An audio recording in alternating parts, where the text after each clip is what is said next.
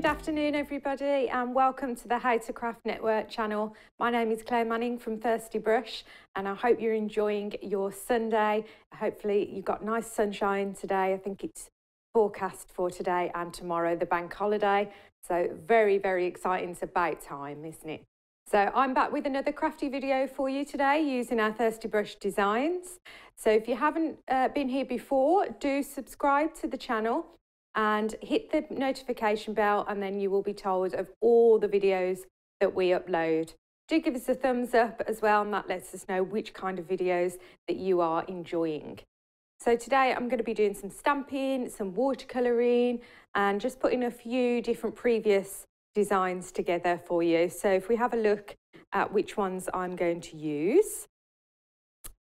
The main feature of the card for today is the uh, Just Be You wreath stamp and die. So it's one of our really early uh, designs, but I thought it'd be nice to revisit some maybe no line watercolouring. Uh, so I'm going to stamp in a light ink. We're going to do some watercolour washes and then a bit of detail on there. You may have seen me do a similar technique on the last Create and Craft show with the Happy Hour collection.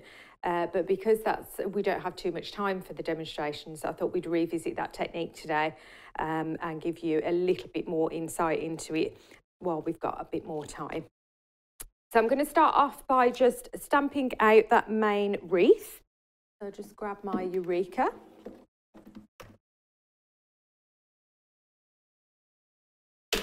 And just on a piece of white card, just so we can die cut it out and uh, watercolour. It isn't watercolour specific card that I'm using today, but of course you can do if you want just anything that's got a decent weight to it. So the main wreath here can be used any way up. I'm just going to pop it in the centre. And when I don't want the line to show up too much, I tend to use a lighter ink than a black or a grey or a brown or anything. Um, this is kind of like a yellowy orangey colour.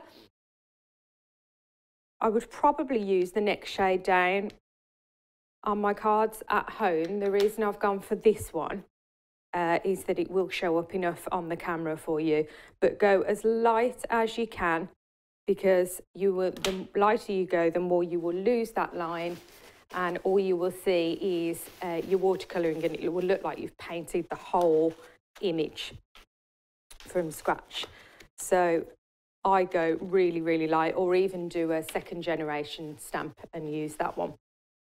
So just wipe that off. So here's the main wreath. And like I say, I hope you can see that if I were to use a lighter one, you really wouldn't see that at all. Um, so ahead of time, I've started a little bit of watercolouring just because it takes a while to do the whole image. So all I've done is die cut it ready and I've started with a little bit of green on the leaves. So I'll grab my watercolour palette. I'm actually just using some water on directly on the palette and on my surface today just as a different, of course you can have a pot of water, but sometimes if say you're traveling or you're working on a very small space and you've got a glass mat or the top of your Eureka even, uh, just to show that you don't have to have pots and pots of water. So just pop that aside. So I'm going around the leaves first and I'm just using a very, very basic wash of colour. So that means a fair amount of water on my brush and just a relatively small amount of paint. So I'm just going to do all the green while I'm here, which is all the leaf parts. I'm going to vary the greens slightly. I've got a slightly brighter one mixed up here and then a slightly duller one where I've mixed it with some brown in this little bit. So I'm just going to do some leaves brighter than the others and just give them all that wash.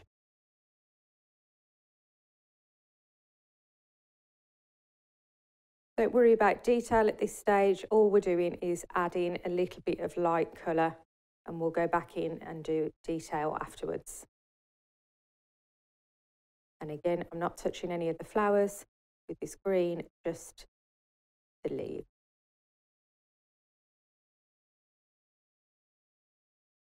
This wreath actually reminded me a little bit of um, one of the wreaths from Toni's release this week. The uh, all the washi tapes with the animal.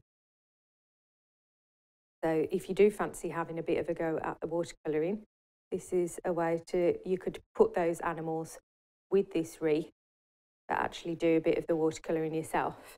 So what I'm doing now is I've got slightly less water on my brush really fine point and where the little stems are going from the leaf leaves I'm just using a very light stroke just to join those up around the wreath. Still no detail at this stage, I'm just adding in stems.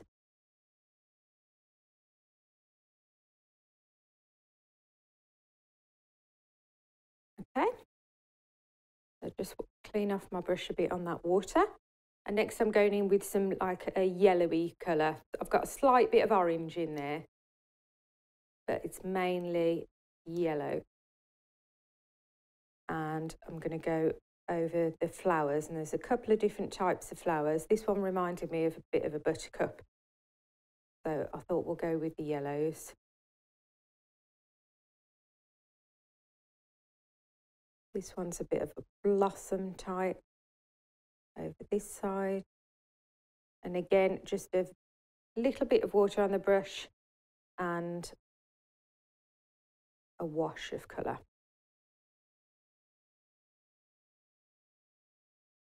Don't forget if you're looking to up your game a little bit with your watercolouring, add it more to your cards and learn some new watercolour skills. I've got my Craftopia class on um, Create and Craft. You can buy the tickets through Create and Craft and it goes out live on the 27th of June. So check out my social media or the Create and Craft website and you can find all the details for that. And we'll be doing not just uh, not watercolouring stamps, but actually creating a whole piece of floral art completely from scratch. So it might sound daunting, but don't worry, you just follow along. It's a kind of craft along, paint along class and by the end of it, you will have something that you are super proud of. So that's the little yellow wash. just one last bit there. Okay, so now we need to add some detail to that image. So I'm going to mix up a little bit more paint in these to make it a little bit more concentrated. So I'm going that green and brown again. That gives us a nice dull, really kind of true green and hardly any water on my brush, just dip straight in the paint and I'm using the very, very tip of this. This is a number one, so you could probably use anything zero to about three. I think anything more than that might be too much. And then let's start off with this larger leaf so you can see in more detail. So I'm going right from the base of the leaf and I'm just going to do some flicks can you see where I bring it up? It's barely touching the paper at all. Can you see that gives a bit of depth?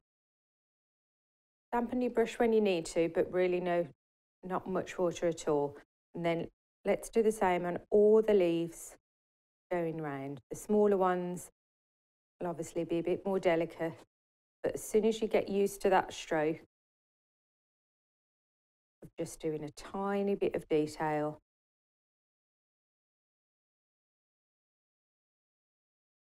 You will see that it starts to come together and starts to look more 3D, more real life, and it gives it depth of colour as well, because this is a darker shade than you've used on the base of the leaves. So I'm just moving the wreath round using the very tip of my brush.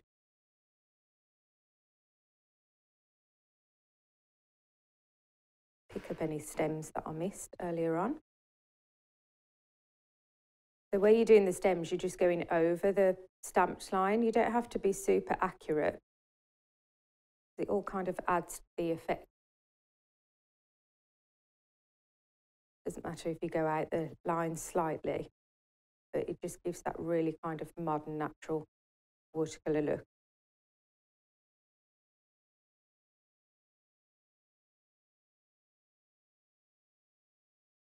Exactly the same technique on each leaf.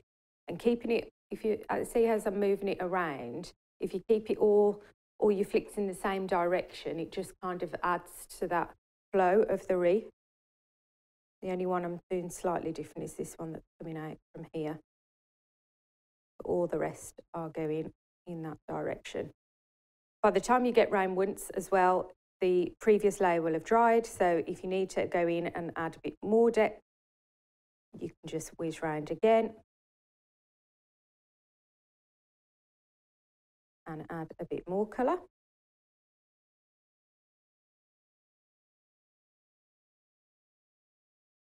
I think that's okay for the green. Let's add some more depth now those yellowy orange flowers. So just clean my brush off. And in fact, I'm going to wipe off that bit of water and put a bit of fresh down because there's a lot of green paint now gone in that water on my surface. Um, and I don't want it to infiltrate on my yellow colours too much. So just a bit of water. Got the yellows. Add in a bit more paint if you don't feel it's concentrated enough. Bit of yellow and the orange together just a damp brush again. So this is exactly the same as what you've just done on the leaves. But this time just pay attention to um, the direction of the petals. So this flower here, they all kind of come out from the centre. So that's how we're going to do our flicks.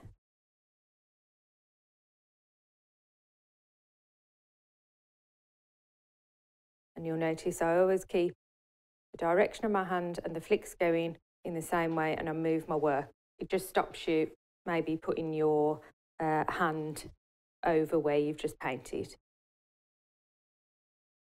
A little bit of detail on those berries and then round to the next flower. These are those fine petal ones.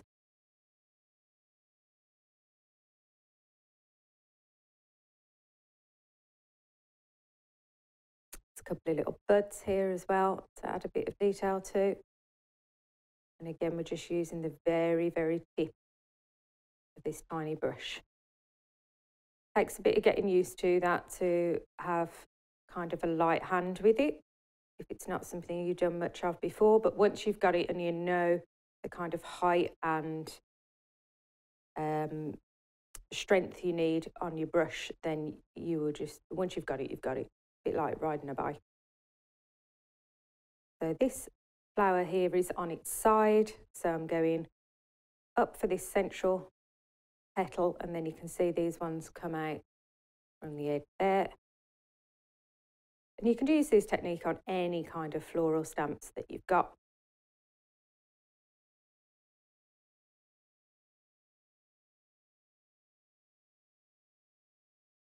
Okay, so think that's okay for the main image. You could keep going and keep going and add more depth.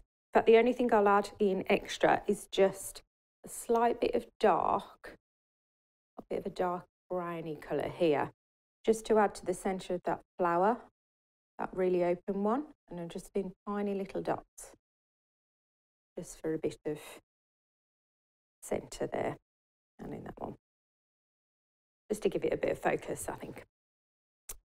So that's going to be the main focal point. And then actually in the stamp set, you get some extra floral elements. If I just hold this to show you, all stuck together. So you get the large wreath and the smaller one if you wanted to use that. But you get all these extra bits, which are basically elements from within the wreath. So what I've done is stamp those out I've done the basic wash. Some of them have got dies. I've just cut round the others that haven't got the dies. So I've done the basic wash and a tiny bit of detail. I'm just going to add more and then I'm going to use them to embellish the, um, the wreath even more and make it even bigger. So I'm just doing the same technique that I did on the main one.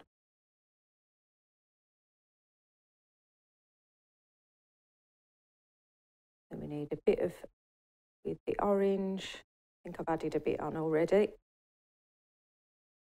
just add a little bit more depth on these few. And I'm going to try and tuck them behind if I can.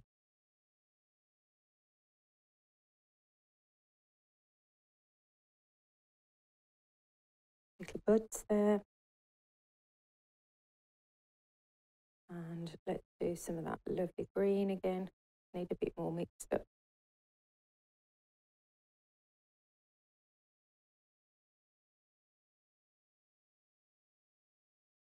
To get a bit of detail on those leaves.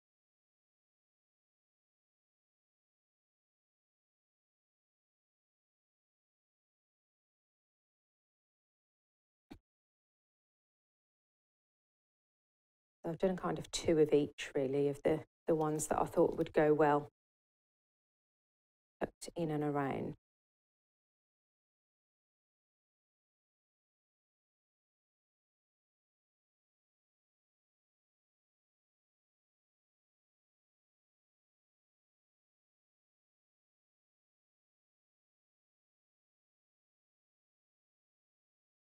I think this is one of those wreaths as well that you can colour up anyway with any colours and it'll still look stunning.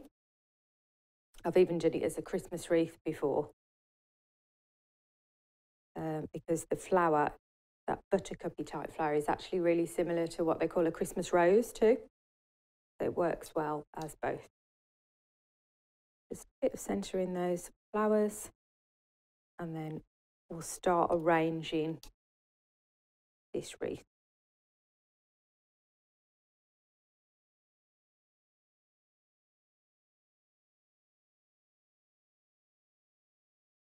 Little dabs when I'm doing the centres. I'll mix some over here. There we go. Okay, let's just wipe that down.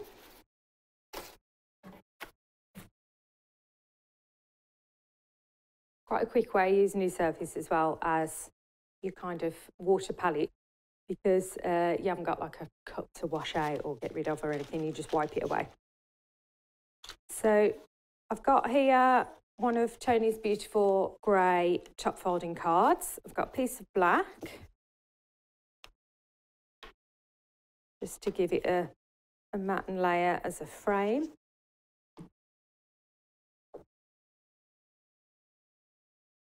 And I've kept piece that it's going to mount on just white today. You could, of course, use another coloured piece. You could emboss this piece with your embossing folders or use a pattern piece of paper, stamp on it, whatever you want. But I want to keep it nice and clean and simple today.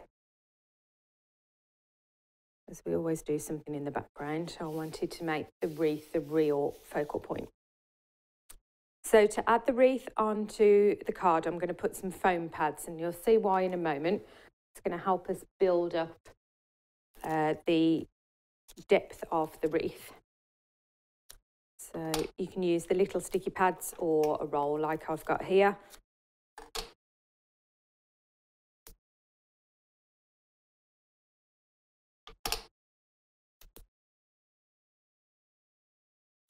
So just a couple of different bits just to make sure it's pretty even all the way around.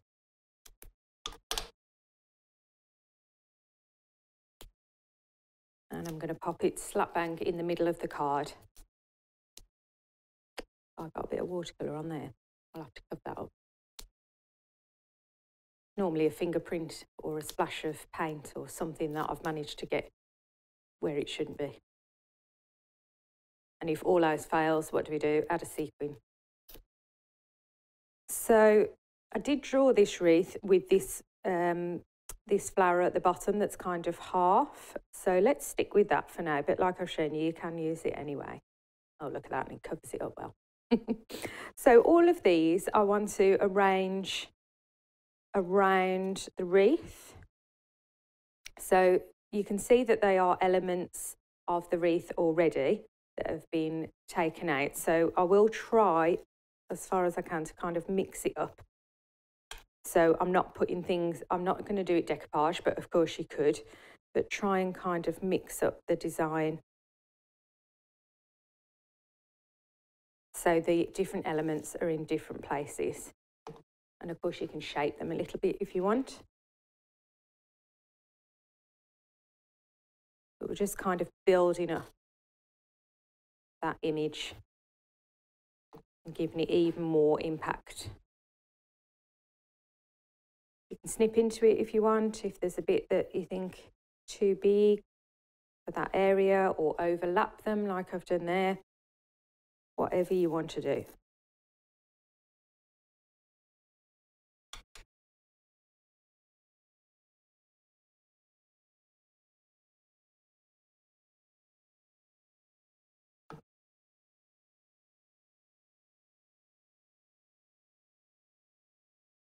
Save the four flowers to last so they don't get kind of covered up.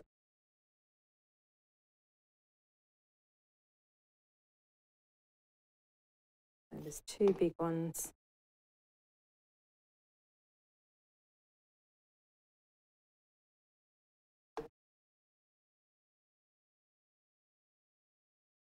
And two small ones that should just fill in the gaps I feel maybe.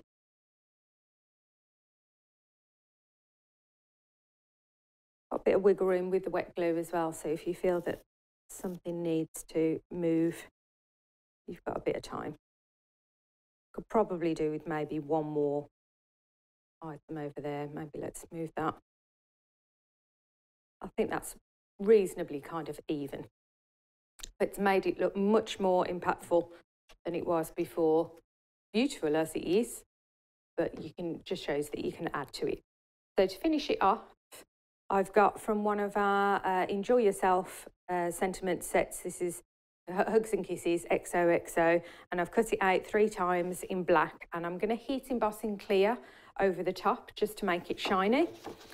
So you've probably seen me do this before. I use the Luminosity embossing ink pad and I turn it over and I just press the die cut into the pad to make it all sticky. And then I use the clear embossing powder. This is the crystal clear one that comes in the not so basic set on the website. And I put that all over. Now this is where I need some tweezers and I'm pretty sure that I always forget to bring them. Excuse my use my fingers. So at the moment that looks all like frosted with that clear powder, but it will melt and go super shiny when I put the heat gun on it now. This is why tweezers are a, a good idea because you can keep it in place, but let's cheat and use my scissors very carefully so I don't burn my fingers. Just let the tool heat up a little bit. Whoop. See, it's blown it around. This is why tweezers are a good idea.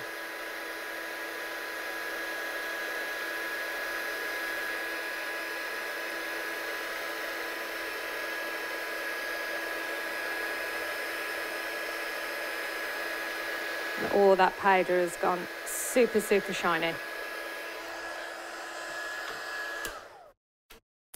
Leave that for a second or two just to cool before I stick it on. So um, I don't um, smudge it or anything like that and get rid of all the, the shiny powder. It'll set. And then we just need to pop that on the card. So I'm just going to kind of layer it over. Just need a couple of blobs of glue there. So it's dry already and it makes it quite like a, a hard embellishment then. So sometimes you find the uh, sentiment die cuts you know, anybody's sentiment die cuts, sometimes they can be a, a little bit fiddly. This certainly makes them more um, easier to handle. I'm just going to layer that over the top. Give it a little press down.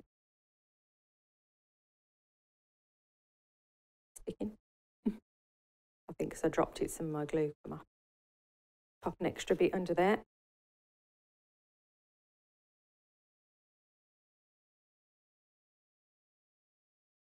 And there we go. So clean and simple card, but actually loads of effort put into there with the all the watercolouring detail. And like I say, from a distance, then you almost lose that line.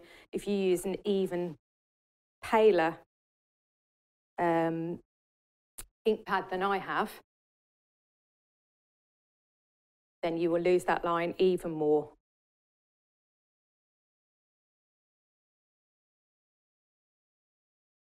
Okay.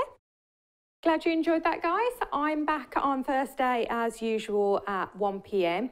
Uh, every Sunday and every Thursday for me. But do subscribe so you can see all the other videos from Carly and Toni and Simon, all in between as well. And I should have some news on our Thirsty Brush Christmas release very soon as well, which is super exciting if I haven't told you about it already by the time this video comes out. But enjoy the sunshine, take care, and happy bank holiday.